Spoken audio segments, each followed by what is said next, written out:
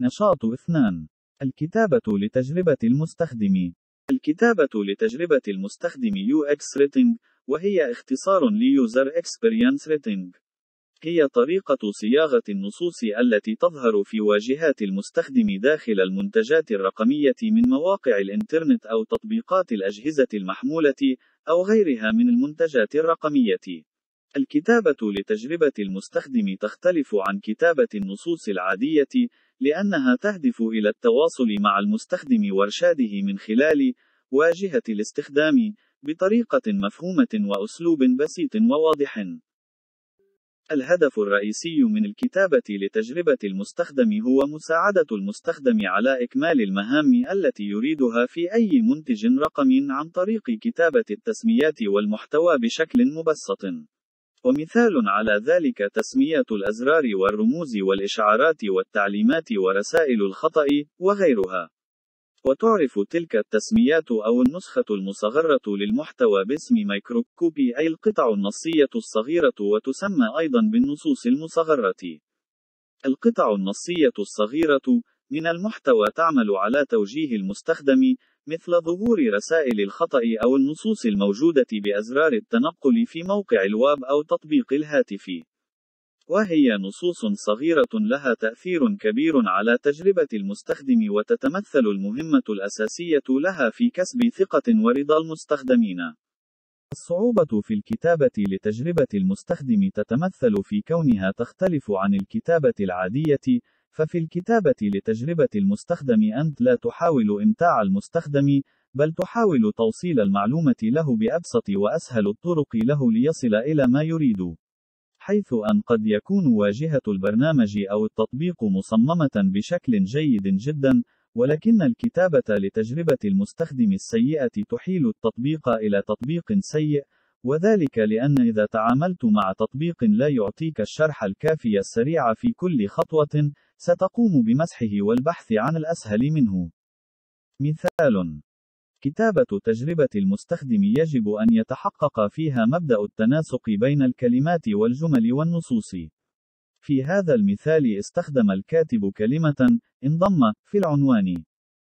وعندما جاء الدور على الأزرار استخدم كلمة أخرى اشتراك. أهمية الكتابة لتجربة المستخدم قبل عدة سنوات مضت، كان يتولى المصمم أو المطور مهمة كتابة نصوص تجربة المستخدم. وفي كثير من الأحيان كان النص النهائي يخرج في صياغة رديئة تحبط المستخدم، ما يدفعه إلى الاتجاه تلقائيا نحو المنافسين بحثا عن مساعدة على نحو أفضل. من هنا برزت أهمية الكتابة لتجربة المستخدم، فجاء هذا النوع من الكتابة ليتعاطف مع المستخدم، ويفهم ما يحتاج إلى معرفته بالضبط في اللحظة المناسبة للتنقل عبر الشاشة أو لإكمال مهمة، ومن ثم يتواصل معه بنص واضح وموجز. كيف تختلف كتابة تجربة المستخدم عن كتابة الإعلانات؟ كتابة الإعلانات كوبيريتنج هي عملية كتابة مواد تسويقية الهدف منها بيع منتج أو خدمة ما، وقد تتم في مرحلة متأخرة بعد الانتهاء من عملية تصميم المنتج بالكامل. في المقابل الكتابة لتجربة المستخدم UX Rating مهمتها كتابة نصوص تدعم استخدام المنتج وتقوي التواصل بين العميل وواجهة الاستخدام. فهي أحد المهام الضرورية عند تصميم تجربة المستخدم لمنتج أو خدمة. يساعد هذا النوع من الكتابة المستخدمين على تخفيف أي مشاعر سلبية في حالة وجود أخطاء أو مشاكل في أثناء التشغيل. كتاب تجربة المستخدم كتاب تجربة المستخدم يقومون بالمساعدة في إنشاء وتعزيز وانتشار العلامة التجارية أو المنتج أو المشروع، وإعطاء قيمة للمستخدمين من خلال صياغة تجربة استخدام من شأنها تحسين حياتهم اليومية باستخدام المنتج أو التطبيق أو الموقع الإلكتروني. وكذلك التأكد من أن جميع منشئي المحتوى في الشركة أو المؤسسة يمكنهم فهم واستخدام ذات الأسلوب بسهولة، وذلك من خلال إنشاء دليل لنمط وأسلوب كتابة المحتوى.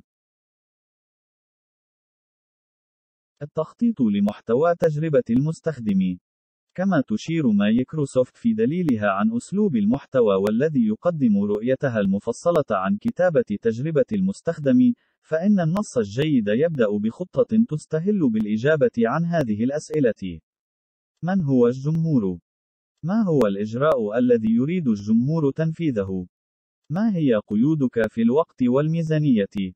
ما هو شكل المحتوى الأمثل الذي يلبي احتياجات العميل؟ كيف سيجد العميل المحتوى؟ ما هي الأجهزة التي من المحتمل أن يستخدمها العميل للاطلاع على المحتوى؟ قواعد الكتابة لتجربة المستخدم ثمة أربعة قواعد أساسية مطلوبة عند الكتابة لتجربة المستخدم تجعل النص فعالا وهي الوضوح الاختصار. الفائدة. الاتساق مهارات الكاتب لتجربة المستخدم. أولاً يفهم أساسيات التصميم ومعايير الويب وقابلية الاستخدام. ثانياً لديه مهارة الكتابة بإيجاز وبشكل مختصر وبسيط يفهمه أي شخص عادي. ثالثاً، ينصت جيداً للمستخدمين ولديه مهارة الإصغاء، ويحلل سلوكهم في تجربة الاستخدام. رابعاً، متوفر لديه مهارات العمل الجماعي، مع فريق المصممين والمطورين أو المبرمجين. خامساً، يعرف أساسيات اختبار تجربة المستخدم جيداً.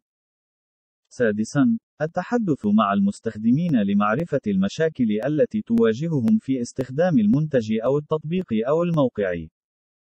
سابعاً، معرفة عمل الأبحاث وتحليل النتائج وتحويلها إلى مهام تطويرية.